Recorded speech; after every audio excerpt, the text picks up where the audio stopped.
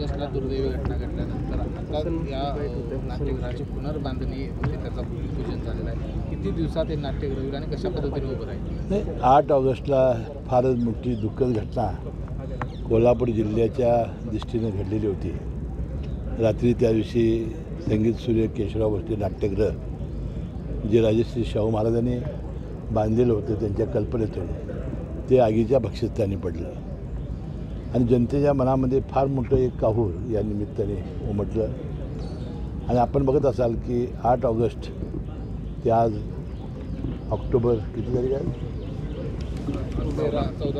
चौदा ऑक्टोबर तोपर्यंत रेकॉर्ड बेग वेळेत महापालिका असेल किंवा प्रशासन असेल पालकमंत्री म्हणून मी असेल आणि विशेषतः छत्रपती खासदार शाहू महाराज असतील यांनी एक दिवसही न थांबता या कामाला सुरुवात आम्ही केली.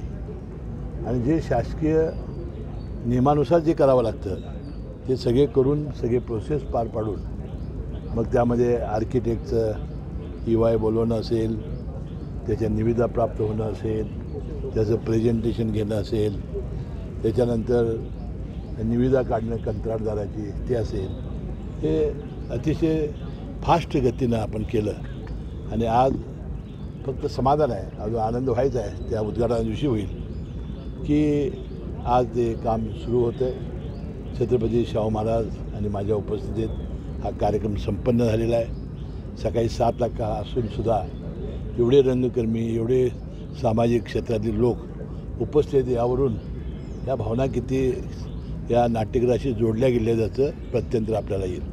आणि म्हणून भाषणात मी म्हणालो हे दगड चुना माती किंवा सिमेंट किंवा लोखंड ही इतर इमारत आहेच परंतु यामध्ये कोल्हापूर जिल्ह्याच्या तमाम जनतेच्या भावना त्याशी जुळलेल्या आहेत. आणि म्हणून ते वेळेत दीड वर्षाच्या आत पूर्ण होईल. त्यांना आम्ही टप्पे दिलेले आहेत.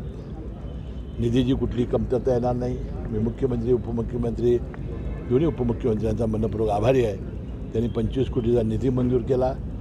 तो प्राप्त करून दिला आणि ह्याला निधी कमी पडू दिला जाणार नाही असं आश्वासन त्यांनी दिलेलं आहे. मला वाटतं ही पूर्वीप्रमाणे गतवैभव प्राप्त करणारी संगीत सूर्य केशवराव भोसले नाट्यगृह ते दिमाखात उभं राहील आणि ते रसिकांच्या रंगकर्मींच्या आणि जनतेच्या सेवेत रुजू होईल असा विश्वास मला आहे.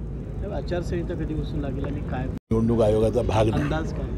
परंतु जो दिवस जाईल त्याचा दिवसाचा कसा उपयोग होईल त्याचा प्रयत्न आम्ही करतो आहे आज चंदगड विधानसभा मतदारसंघामध्ये आपले आमदार त्या ठिकाणी राजेश पाटील मात्र त्याच ठिकाणी काल भाजपच्या वतीनं उमेदवार आहेत ते घोषित केलेले शिवाजी आहेत. मुख्यमंत्री येऊन त्यांनी उमेदवारी शिवाजी पाटील यांची घोषित केली. कसं बघता या महायुतीमधल्या या सगळ्या तिड्याकडे नाही मी अजून ती काही घटना समजून घेतलेली नाही. मी आता मुंबईला आज रात्री जाणार आहे. मी घटना समजून घेईन. वास्तविक जर युतीच्या प्रमाणे जर ती जागा स्टँडिंग आमदाराची जर असेल तर ती राष्ट्रवादी काँग्रेस पक्षाची जागा आहे. उपमुख्यमंत्री राष्ट्रवादीचे राष्ट्रीय अध्यक्ष अजितदादा पवार येऊन त्यांचं नाव जाहीर केलेलं आहे. असं असताना जर गोव्याचे मुख्यमंत्री येऊन जर हे क- केलं असेल तर ही गोष्ट बरोबर नाही. मला वाटते भारतीय जनता पक्षाचा योग्य ती दखल अजितदादा करून देतील आणि त्यातून त्याचा मार्ग निघेल. कसं बघता एकूणच याकडे कारण विरोधक कायदा सुव्यवस्थेच्या प्रश्नाला लक्ष हे फार दुर्दैवी घटना आहे.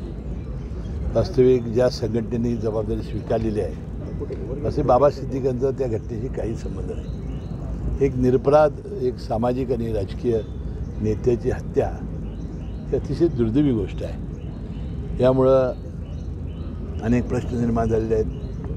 आता त्या प्रश्नाचं निराकरण लवकरात लवकर पोलीस करण्याचा प्रयत्न करतील असं मला वाटतं आहे पण राज्यातल्या कायदा सुव्यवस्थेत कारण वाय दर्जाची सुरक्षा भेटून अशा पद्धतीनं हत्या होते. विरोधक कुठंतरी कुठेतरी लक्ष करतायत सतत नाही विरोधकाचे एक कामच आहे. ज्यावेळी अशा घटना घडतात त्यावेळी कायदा सुव्यवस्था धोक्यात आलेली आहे ढासळलेली आहे. अशा टीका करणे त्यांचं काम आहे. तुझी घटना बघता हे दुर्दैवी आहे. परंतु मला एक सांगा. अचानकपणानं कोणीतरी माणूस बंदूक काढतो रिव्हॉल्वर काढतो आणि गोळी झाडतो. असे काही चोवीस तास आपलं काय लक्ष असत नाही. पोलिसांचं लक्ष असलं पाहिजे कायदा सुव्यवस्थेचा धाक असला पाहिजे खरं आहे.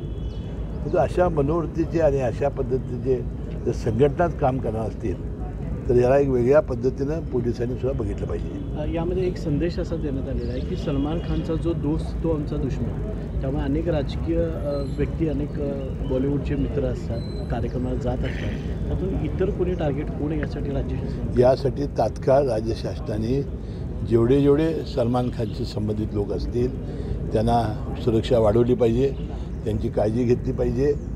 आणि ह्या पद्धतीनं अशा रीतीनं जर दिवसाढोळ्या होत असेल तर ही गोष्ट बरोबर नाही हे खरं आहे. आपण खूप लाईटली सकाळी घेतलं. मात्र आपण देखील विदाऊट पोलीस विदाऊट तापा या ठिकाणी हजर झालात. आपले ड्रायव्हर आले नसल्यामुळे पोलीस आले नसल्यामुळे.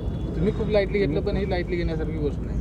नाही काय झालं की छत्रपती शाहू महाराजांना वंदे मातरम ट्रेननं पुण्याला जायचं होतं. आणि तिथून त्यांना दिल्लीला जायचं होतं. त्यांनी सांगितलं की आपल्याला सकाळी अ, साडेसहाला पावणे सातला आपण कार्यक्रम सुरू करू. आणि मग एवढ्या लवकर तयार होऊन हे सगळे येणं हे शक्य झालं नाही. मला तर वेळेवर आलं पाहिजे होतं. शेवटी आता आचारसंहितेला तर हे कुठं राहणार आहे? म्हणजे आपले काही आपल्यालाच करावी लागणार आहे.